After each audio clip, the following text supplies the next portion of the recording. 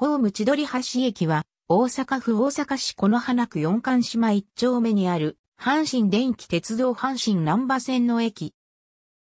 駅番号 HS46。相対式ホーム2面2線を有する高架駅。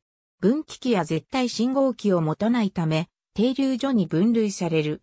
1階に改札口及び、コンコース、2階にホームが設けられている。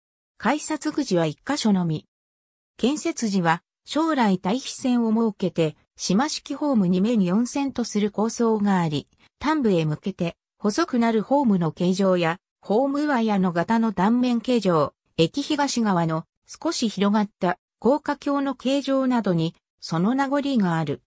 ホームの有効長は130メートルで19メートル級の阪神車両6両編成と21メートル級の近畿日本鉄道車両6両編成に対応している。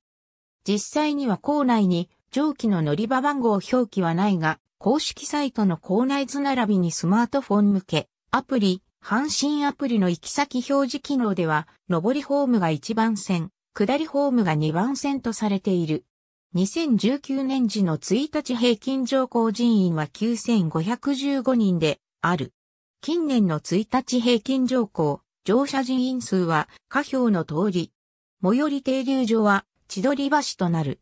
以下の路線が乗り入れ、大阪シティバスにより運行されている。東端式2面2線の構造。